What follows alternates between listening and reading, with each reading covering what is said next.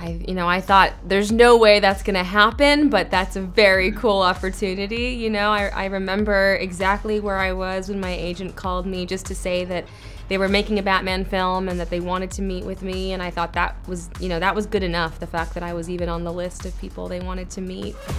There's latest. It's all about the Waynes. If we don't stand up, no one will. You got a lot of cats. I have a thing about strays. The bat and the cat. It's got a nice ring. A new friend of yours? I'm not so sure. ¿Cómo fue convertirte en Catwoman? You know, uh, throughout my career, there's been jobs that I really wanted and haven't gotten, so I really tried to um, not get too excited and not get too attached. And then I, you know, went to LA to meet Matt and loved his vision and loved him as an artist. And that made it even harder because I really wanted to work with Matt and then read the script and loved the script. And so it was this journey of like kind of like trying to not get too excited, but, you know, falling in love with this project. And, and when they, you know, when they finally called me and after the screen test and said that I had it, it was just, I, I, I still can't believe it. I still, I'm seeing these posters now pop up all over and I'm, I'm like, what? That's me? That doesn't make any sense. You're pretty good at that.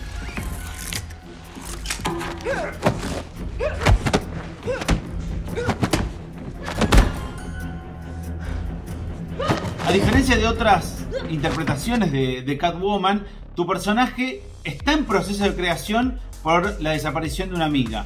¿Cómo fue crearlo con, con, este, con este objetivo, con esta búsqueda? It was interesting because, you know, there's this idea of, of Catwoman and she's this kind of vixen and she's kind of, you know, she's playful and she's funny and she's naughty and all of these things. And, you know, in this story, she's really upset. She's really, you know, the stakes are very high. She's very emotionally invested. She's trying to find a friend. She's worried. So there's not a lot of um, space to, to kind of deliver that playfulness that I think a lot of people expect. And I think there was something scary about that for me. I was afraid that people might be disappointed that they don't get that. And I think in future films that we will, you know, we'll get to that place. But, you know, Matt really helped me stay focused in terms of keeping it really grounded and really um, about this relationship and about her her, her friend that's that's missing and, and you know the, the pain that comes with that situation. You're still away. He's involved in this? No, he's not involved. How do you know? He's a vigilante. Who are you under there? What are you hiding? Selina, don't throw your life away. Don't worry, honey. I got nine of them.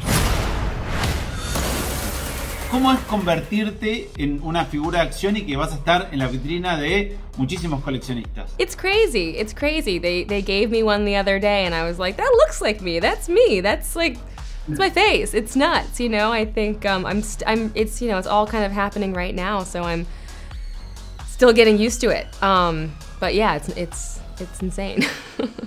Justice. The answer is justice.